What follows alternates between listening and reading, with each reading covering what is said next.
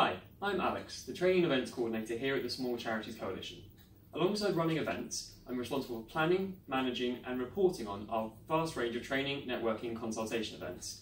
Like many small charities, I often find myself doing too many things with not enough hands, often on small stretch budgets. That's why I'm here today to talk to you about my favourite digital tools that will help you save time, helping you get back to doing what matters most or having a well-deserved break. Crucially, a lot of the tools I'm going to talk to you today are either free or offer sizable discounts for small charities. They don't require any technical know-how, they're very user-friendly and have great customer service and help guides. Let's get stuck in with the first tool. Let's start with the basics, the Google Suite. Everyone's probably familiar with Google, but what we probably don't know is the wide range of tools they have to help small charities. Alongside the standard Gmail inbox, excuse the prop, you also have a very useful calendar to share where people are going and what people are doing every day, as well as Google Drive, which can essentially replace your office. You also have Google AdWords, Google Hangouts, Forms, Drawings, Maps, and so much more. Going back to Google Drive, that contains things to help you make high-end presentations, slideshows, documents, spreadsheets, the works. It can essentially replace Microsoft Office and the need for costly and fiddly licenses. You're not tied to your desk and you can access it from anywhere you've got an internet connection. At home, at work, when you're out and about, wherever. Crucially, this makes it really easy to collaborate and work with other people. For example, if I work with a good spreadsheet, I put it in Google Drive and my colleagues know where to find it later. Together, we can then work on the same spreadsheet, allowing us both to either view, comment, or collaborate as we need to. If you're still receiving documents in a Microsoft Office format, that's fine too. You can work with them inside Google Drive in that format, or easily change into a Google format for exporting and editing. This is all part of the Google for Non-Profits program, which they offer loads of these tools for free. This includes an amazing opportunity to boost your digital marketing in the Google Ads campaign. They offer $10,000 a month of free advertising credit on Google search ads. That's a lot of money for a small charity, and it can be very, very simple to access. It used to be very complicated to get hold of this Google ad money, but now it's much simpler with the Google AdWords Express, allowing your charity and your cause to be seen for zero pounds. You and your team are collaborating and doing great work, but you need to spread the word. You could go out and tell people on the street randomly, or you could use MailChimp. MailChimp's a fantastic tool for emailing lots and lots of people, whether that's your service users, supporters, fundraisers, whoever. BCCing and using Google address books is okay, but it's very hard to get proper actionable data from that. Whereas what you need is a dedicated mailing list tool, like MailChimp. We love it because it's very user friendly. It's very easy to create a list of contacts, which becomes your address book or lists. You can then segment them into the right order or group, and you can then send templates or campaigns, slotting your perfect content out to them really quickly and easily. It's very good at helping you stay GDPR compliant. It's got a wide range of FAQs and help tools, and it's very, very easy to use. There's lots more to dive into there, including automations, deeper segmentation, but if you're just sending a standard bulk email, it's very simple to use. Amazingly, all of this is free if you have less than 2,000 subscribers, and you have, if you have more, there's a 15% charity discount on any paid plans. It's well worth a look. So you've got lots of people engaged, but what happens if they come to you with questions? These days, there's all sorts of channels, whether you've got your, let's say, website contact form, your emails, Twitter, and Facebook. These days, people expect a quick response from all these channels, and as a small team, it can be very hard to stay on top of them. That's why we use a tool called Zendesk, which helps keep everything all in one place. This is now the complicated bit where these stretch metaphors become unwieldy and hard to use. Think of Zendesk, or Freshdesk, and we'll get to that in a second, as like a central hub where all of your messages come in. This allows you and your team to stay responsive across all the channels and platforms. You can also imagine it like a traffic warden, directing the right messages to the right people. The amazing thing about Zendesk and Freshdesk is they're all online. Rather than being tied to a phone or a help desk in one certain place, you can access questions and answer from wherever you are, whether that's volunteers working at home or you're out on the go. It has a really great range of tools to help automate your responses. It has templates, macros, and autoresponders to help you stay on top of things even when you're not at your desk. You can say goodbye to shared inboxes, chasing up emails and being unsure whether someone's being responded to or not, and instead you and your small team can focus on doing what you do best, being responsive, helpful, and friendly to the people you need to be. It's a very low cost, and Freshdesk has an entirely free starter plan.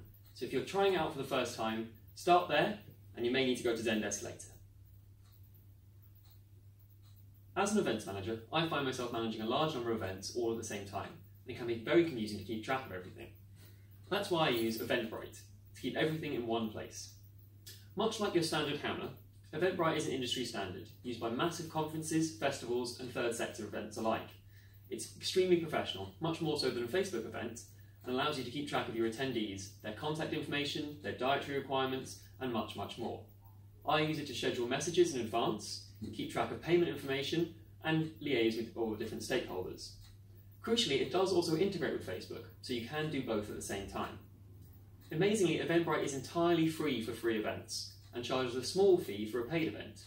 So next time you're running an event for your small charity, have a look at Eventbrite and the range of tools it offers you. If, like me, you find yourself managing a lot of events, people, or projects at the same time, it can be very difficult to keep track of what's going on where. Excel spreadsheets are okay for this, but they can very easily become confused with lots of columns and comments. So to keep everything on the level, that's why I use Trello. Imagine Trello as a big board of post-it notes. Crucially, they won't fall off. It allows you to create side-by-side lists, and then you move cards or individual items side by side depending on the project. For example, a lot of people use it for web or app development, a lot of people use it for weddings, conferences, or projects, but I use it to keep track of events. So if I have an idea for an event, it starts on the left with an idea. It then goes to venue confirmed, date confirmed, live, and then reported. It helps me keep track of everything that's going on. It's great for using as a team because it allows you to collaborate. You can comment, note, and even encourage people by putting little stickers on. Next time you have a planning meeting for the future, why don't you try digitizing it and putting it on Trello and see what a difference it can make? Because crucially, Trello is free for a starter plan and also offers a great charity discount for the paid plans. Now, it's great if you're working on it as a team and collaborating on projects, but as we all know in the charity sector, you can't measure its impact, it's not really worth doing.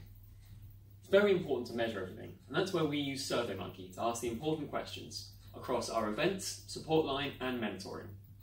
Now, the caveat here is SurveyMonkey is one of the more expensive survey tools around. There is a 25% charity discount, but Google Forms or Zoho might be more acceptable for your budget. However, we love SurveyMonkey because it's so user-friendly.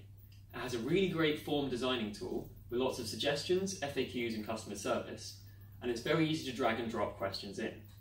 You can send your survey out via a dedicated email sender, via a web link, or via social media, all of which is really well measured and handled by SurveyMonkey. Crucially, SurveyMonkey data analytics are brilliant. Rather than exporting raw data and playing about with them as a CSV in Excel, SurveyMonkey handles it all on its own website, allowing you to create really simple and beautiful PDFs and reports for your funders, board, internal presentations, whoever you need to present to. Next time you're looking to gather some data, do give SurveyMonkey a go. Finally, let's take a look at my favourite apps out there. It's a form of technical wizardry that links together all the different services and apps we've talked about and is very easy to use. Zapier. All you do is you give Zapier access to the accounts you have on other services, say Google or Twitter. Use a simple form on their website to make a workflow, and it sends data from one place to another. Now there's no coding, technical know-how, or permanent changes involved. It's very simple. There's lots of helpful suggestions on their website, and it has lots of advice, especially for small charities on their blog. Now it's free to start using and playing around with, and there's also a charity discount on any paid plan. Let's have a look at an example to help make it a bit clearer. On Eventbrite, I've got people signing up to attend my events. But if I want to share that with someone, it's much easier if they all go into a Google Sheet so someone else can look at it. What Zapier does is it cunningly links everything together, so without me having to press a button, data from one is sent to the other. Let's look at another example. If I'm measuring an event and its satisfaction via a SurveyMonkey, and someone puts in a negative comment, which by the way never happens, Zapier can link those two together. That negative comment from SurveyMonkey goes straight into my Zendesk in a much neater format than this, and everything's kept all in one place. It can save you so much time, and it's one of the best tools that I use in the office at the moment. Do have a look at Zapier and see how much time you can save. Well, that about wraps it up for today. We want to know what sort of tools you use. What do you find helpful on a day to day basis, saving you time? We know we've missed a trick along the way, and you may have a great use for a tool that we haven't looked at. Please do get in touch with us to tell us. Most of these tools have amazing help guides, support networks, and online blogs giving you advice and inspiration. The best way to learn is to go out there and try things yourself. Because the majority of these tools are free, there's no harm really to be done. You can give it a go and see if it makes your life easier. If you need any help with anything, you can contact us at support at smallcharities.org.uk and you'll find links and information in the description below. We'll see you later.